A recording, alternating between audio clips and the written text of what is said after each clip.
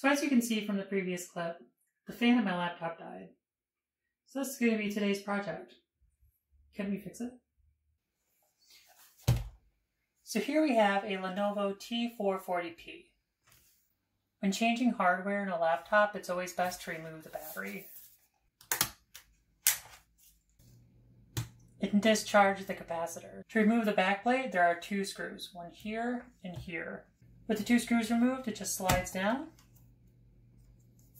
Here's our culprit. There's a bunch of tape, gotta remove, and then replace this fan with hopefully this one.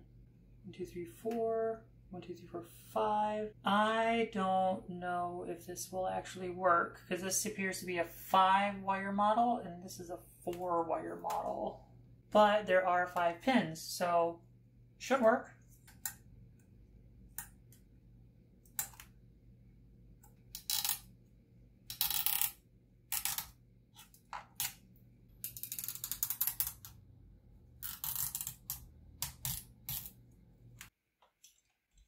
In order to get to the two screws on the underside of the fan, the heatsink had to be removed.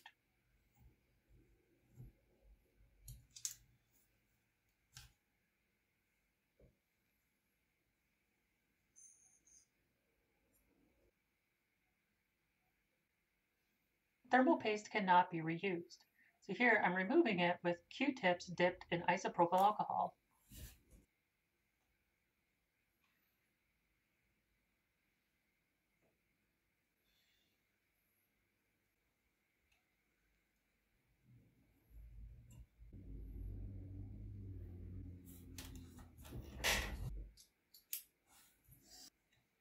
Remove the two screws on the bottom holding the fan to the heatsink and carefully remove the grounding wire being held in place by tape to the heat pipe.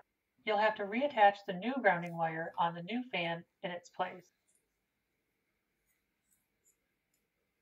Turns out the mounting holes in the fan did not line up. I ended up having to secure it with electrical tape.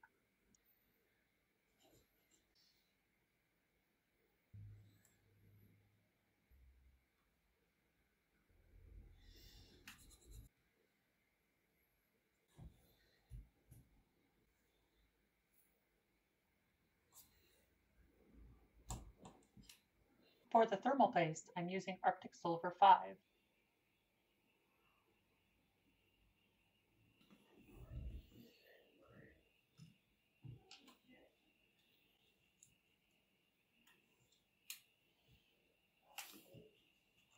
Make sure to use a crisscross pattern on the screws. This will cause even pressure and evenly distribute the thermal paste on the processor. The numbering diagram is on the heatsink.